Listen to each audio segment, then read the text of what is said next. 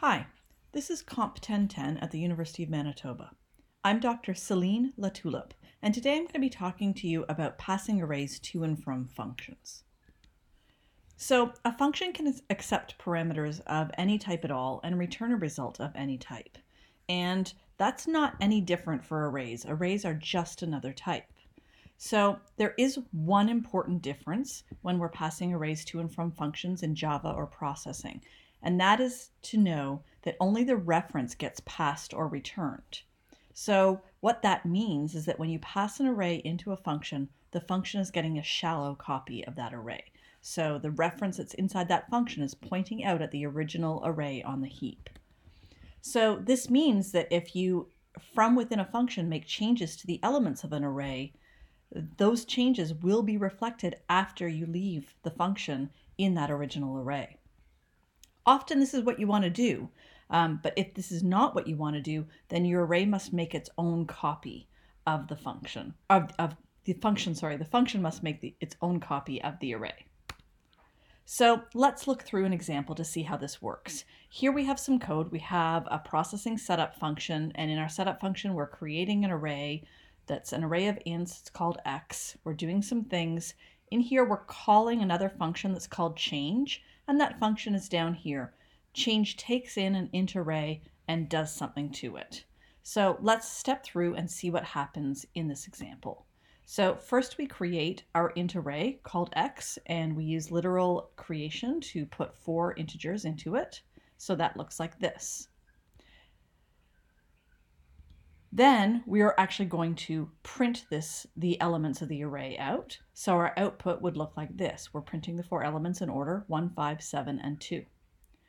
Now we're going to call change, and this is our function. We're going to pass in our array reference variable x. And so once we get into change, we are going to have to create a reference variable called a for our integer array that we're passing in, and it is going to get assigned a copy of the address that's an x. So now a is also pointing at the array that x is pointing at. What happens next is we do an assignment. So now we are assigning the value 9 to the what's in the second slot, slot 2 of A. That's actually the third slot because we index from 0. So this then looks like this. Our array actually gets changed, and this is the original array that's on the heap because A points at that, we go to slot 2, and we assign 9 to that slot. It used to be 7.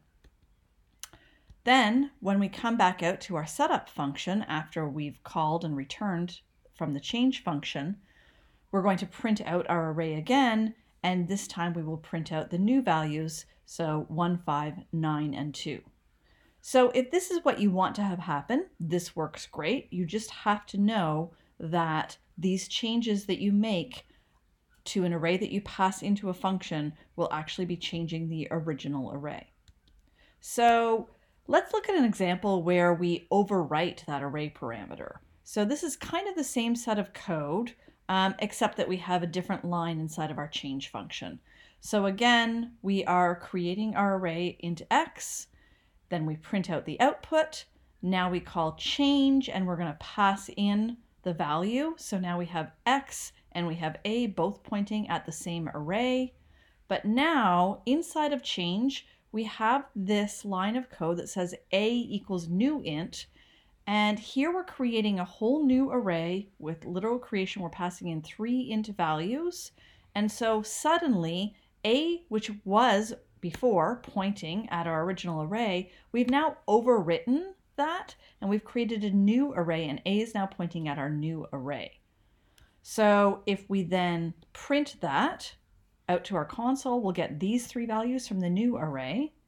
And then when we return back to our setup function and we print out the X array, well, it's going to print out the original array values. And again, we'll have 1572.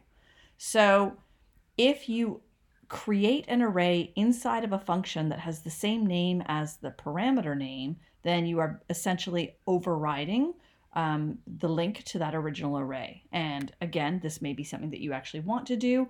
Probably doesn't make a lot of sense because why would you bother passing in this array if we're not going to do anything with it? Okay, so what we really probably often want to do is we want to pass an array to a function and then make a deep copy of it and pass that back so that we can do something with it. So let's write this method to make and return a deep copy of an array that holds ints. So here's the method. It returns an int array, so that's our return type. It's called deep copy, and it takes in an int array. And we're going to call this int array inside this function original. So inside of this function, we are going to create local copy, which is going to be a new array and we're going to make it of size original.length. So if the array that's passed in here has 10 slots in it, we're going to have 10 here and we're going to create a new array that also has 10 slots in it. And then we're going to actually loop through and copy values from the original into our new array and return the local copy. So let's look at this. Um, we're going to look at an example where we are going to use this. We're going to create an array called A1 with the values 1, 9, 3, and 5 in it. And then we're going to create a new array A2 reference variable, and we're going to call deep copy with A1. So let's walk through this example and see how it works. So here we go. Here's our two lines, and here's our deep copy method. So we start off, we create A1, and that looks like this. So you should this should look familiar by now. Now on the next line, we are going to create a reference variable a2 that can point to an integer array. Currently it has null in it. Then we're going to call deep copy and we're going to pass in a1. And so deep copy is going to create a reference variable called original and original is going to be pointing at that same array that A1 is pointing at because we passed that address in. And so that address gets copied from here to here. So A1 and original are both pointing at this original array that has 1, 9, 3, and 5 in it. Next, we are going to now create a new array inside of the function. And we're going to create it of the same length as the original array. So the length of the original array is 4. So now we're going to create a new array. It's also going to have a length of four. It's going to be um, assigned to this reference variable called local copy. And this new array, of course, is going to have default integer values, all zeros in it. The next thing that we're going to do is we're going to do a loop and we're going to copy values from the original to the local copy. So we're going into original, getting values out, and assigning them to local copy. So this looks like this.